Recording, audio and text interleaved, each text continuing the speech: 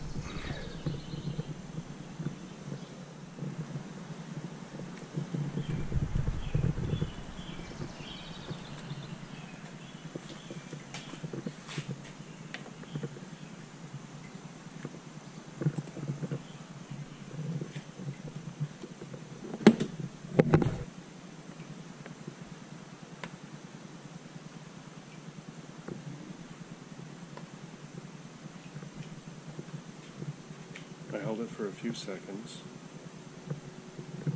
I hear it doing something. Hmm. 286, 292. Now we're getting close to 300 and that's it. I cannot get this machine to go above 300 watts input. This should be 400. It's clear blue sky.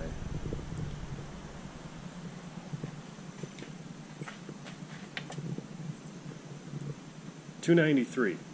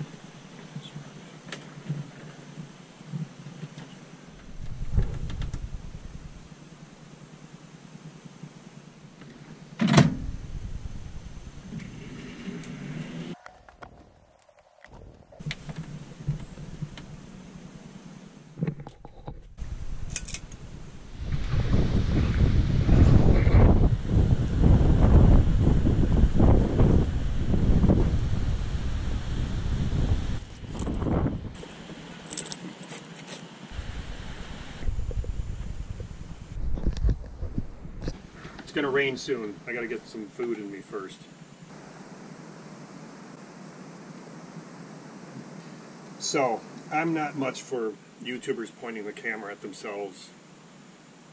I would rather show you stuff, but I decided I really need to wrap up this video. I bought the Anker 767, it's now called the Solix 2000. I bought that in May, and it's now September, it's October, so I'm just going to talk the 521 panels were late being shipped. So I had this solar generator with no solar. So I contacted a local company and I bought four Trina solar panels. They're 235 watts brand new. They were putting out about 150 watts. But they were doing it with an open voltage circuit of maximum voltage is 30.1 and what I think is happening is I've learned that you can't just mix solar panels. The Trina solar panels are 30 volt, whereas the Anker 521 portable panels are 50 volt. And I learned the hard way that the Anker solar charge controller has two, it flips between two different settings. If your voltage coming in is on Reddit, and I got a great answer. The 767 will take from 11 volts up to 32 volts at 10 amps max. But if you go above 30 volts all the way to 60, it'll take in 20 amps max. And so I think the distance from those Trina solar panels outside through, trace all that wiring all the way to where the Anker is located, the voltage drops just enough that the solar charge controller stays at 10 amps. So it limits how much power is coming in overall. I also tried putting the Trina panels in series, but the voltage was too high and the Anker would not take the charge either. So those Trina solar panels are fine used, but they're just not a good match for this Anker. So what I really want are solar panels that are at least 40 volt all the way up to nearly 60 because then I can pull in twice as much power through that, that solar charge controller. So it's just quirky. And now I know. Read the manual. If you're going to buy panels of a different brand, just make sure that you understand the voltages of those panels. You know, you buy 20 volt panels, you can put them in series, two of them, and you'll get 40 volts and you'll be at a higher amperage. Problem solved. You could just buy more Anker panels as well, but they're not cheap and they're not light. They're these things are like 18 pounds a piece. So in a boat, you're kind of limited on where you can put them. So in my final thoughts, I think the Anker 767, the Solix 2000, it's got a plenty big enough battery to run this boat. It's got a plenty big enough battery to run multiple devices at my workshop. I mean, you can pull close to two, what 2,400 watts out of the thing, and it's a 2,000 watt hour battery, so you can you can pull 2,000 watts for an hour. So I think the battery's perfect, but what I would do differently is I would double the number of solar panels that I use. So you put a high load on it and the battery drops, you drop to a lower load and it starts going back up, obviously. But if you can't get it high enough during the day, as evening comes along, the battery doesn't get replenished enough. And then when you come in in the morning, you're still starting from a lower charge. So my advice is this is a neat system. It's very simple. It's idiot proof unless you're an idiot you don't read the instructions. But the size of the battery is less of an issue than the number of solar panels. The battery capacity is not as important as how much juice you are putting into it during the day. My goal is to double the number of solar panels that I've got here at the boat or at my workshop and then the battery will be nearly fully charged towards dinner time at the end of the day. You still got some more sunlight to top it off so that in the morning, when you come back, it's full. Or if you're going to have it running a refrigerator or something all night, like this one, um, the battery's not all the way to zero when you come out. Which brings one more little quirk up, which is that if this battery runs to zero, in the morning, the sun will come out and the panels will start charging the system, but the AC panel, all those AC outlets, do not automatically turn back on. You have to come out and turn them on. So if your battery is nearly fully charged in late in the day, it'll still have some juice in the morning when you come back out, and everything's fine. Uh, I probably ran this boat five days out of seven overnight with this battery and with those two solar panels. If the AC panel doesn't detect enough draw, it shuts off.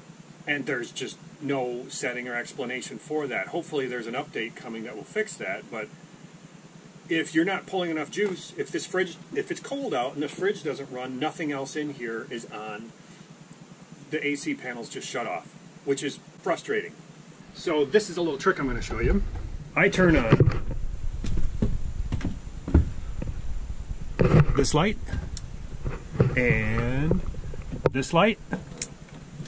And just one more because two isn't quite enough. But if I turn on three lights, come on, overnight, even if that fridge does not draw enough electricity to keep the Anker running, these three lights do. And in the morning, they'll have drawn like 4 or 5 watts plus 4 or 5 or 4 or 5, about 20 watts total, and that's enough to keep it going. I choose lights because there's no moving parts. If a fan, I don't know, if a fan started to act up, started smoking, it could maybe burn the boat down, but light bulbs have no moving parts.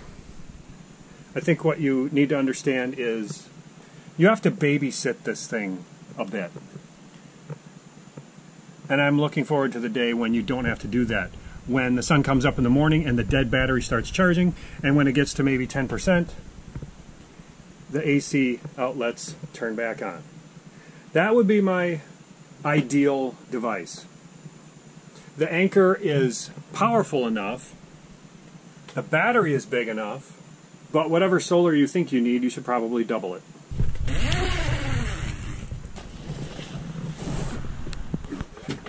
I'm going to keep these uh, these Anker portable panels for camping and things like that. And for the boat, I'm going to buy the lightweight thin film kind of solar and get 800 watts uh, at 40 to 55 volts. Um, and then that's going to be on the flybridge roof, way up high, full sun as long as possible. So I bought this system to learn about solar. I wanted to find out how much I need to use at the boat, um, how powerful is this thing, and it's warranted for five years and it's useful for at least 10, so I figured it can't hurt to start now. Um, because we're headed towards a solar and electric future, and I just want to get myself educated as soon as possible um, so that I can make good decisions in the future. I'd like to have a heat pump at my house. I'd like to have um, solar panels on my roof at home. I have massive amounts of roof space at my workshop for lots and lots of solar. Um, but you need to pay attention to a lot of things, such as net metering. In my town of Grand Haven, Michigan, uh, the BLP doesn't play nice about those things. They are not solar friendly. But this is uh, fall of 2023, and there's a big shakeup going on at the Grand Haven Board of Light and Power. But apparently, at my workshop, Consumers Energy works well and plays nicely with solar, so I will probably get my first really large system up at my workshop. And that learning experience will help me with my house. So I'm hoping that the furnace at my workshop fails first, and then I can replace that with a heat pump and put a bunch of solar there, get rid of the gas bill and get rid of the electric bill, or at least cut it way down. And from that learning experience, do the same thing at my house. And also, one of my antique trucks I use a lot for work, but the other one, which is almost entirely original, so I want to unbolt and get rebuilt, engine, transmission, everything, but then crate all of that up and put it in long-term storage. And then without drilling a single hole, I want to convert that truck to fully electric. It is a perfect candidate for it, uh, and I can use it for short haul trips. Um, but I want to be able to plug it into solar at my workshop. Who knows when the next World War comes and all of a sudden gas is eight bucks a gallon? Heck, right now in California, it's five and a half bucks a gallon for premium. GoPro, stop recording.